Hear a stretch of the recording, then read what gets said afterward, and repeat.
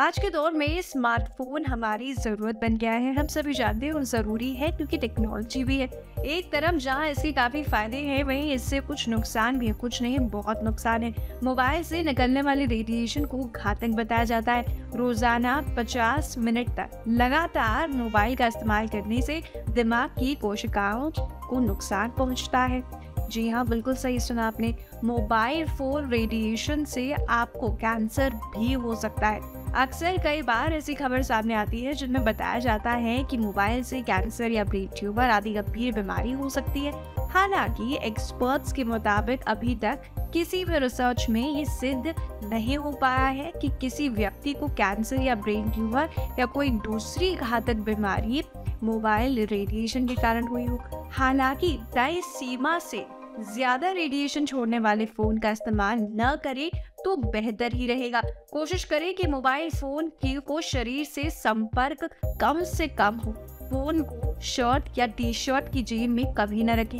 हालाँकि फ़ोन को पैंट की जेब में रखना भी सही नहीं है। बैग में रखें तो ज़्यादा अच्छा है। अगर आप किसी ऑफ़िस में जॉब करते हैं तो मोबाइल को अपनी डेस्क पर रखें और बात करने के लिए लैंडलाइन का प्रयोग करें। अगर घर पर भी लैंडलाइन फ़ोन है तो उसका इस्तेमाल ज़्यादा करें। इस तरीके का उपयोग करना पूरी तरह तो सभी के बस की बात नहीं है, लेकिन जितना हो सके करना ज़रूर चाहिए। रात को सोते समय आप अपने मोबाइल को स्विच ऑफ़ कर सकते हैं। बेहतर होगा कि बातचीत के लिए हैंड्स फ्री स्पीकर या ईयरफोन का इस्तेमाल करें ईयरफोन का यूज़ करें। अब इससे बाद ईयरफोन का कान से हटा दें जब भी आपकी बात होती है। और ईयरफोन्स को कान में रख के ना सोए, ये बहुत घातक है। अगर हैंड्स फ्री स्पीकर का प्रयोग ना करना चाहें तो फ़ोन को कान से करीब एक दो सेंटीमीटर दूर रखकर बात करें।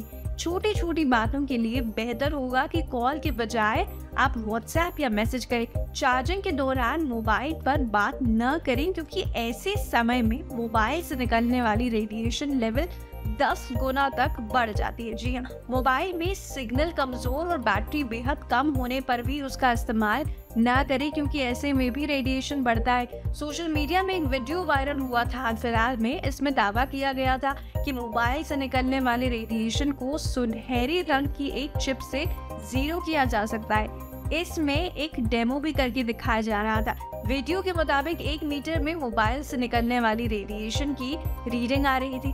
हालाँकि कुछ एक्सपर्ट्स के मुताबिक मोबाइल से निकलने वाली रेडिएशन को ज़ीरो करना संभव बिल्कुल नहीं है, क्योंकि रेडिएशन ज़ीरो करने पर मोबाइल की सिग्नल काम करना बंद कर देंगे। जी हाँ ऐसे में इस वीडियो में किया गया दावा पूरी तरह गलत था। अब एक्सपर्ट के मुताबिक अगर कोई आपसे कहे कि किसी मोबाइल कवर या चिप या दूसरी चीज़ों की मदद से मोबाइल से निकलने वाली रेडिएशन को कम या खत्म किया जाता है तो इस पर बिल्कुल विश्वास न करें, क्योंकि आपका जेब से पैसा ईटने का एक तरीका हो सकता है उस दुकानदार का, उस बेचने वाले का। तो आप हमेशा ये ध्यान रखिए, कुछ टिप्स एंड ट्रिक्स हैं छोटी छोटी जो मैंने आपसे शेयर की है। ऐसे में आप इन रेडिएशन से, इन हार्मफुल रेडिएशन से बच सकते हैं। ऐसी खबरों के लिए बने रहिएगा वोकल न्यूज़ के साथ।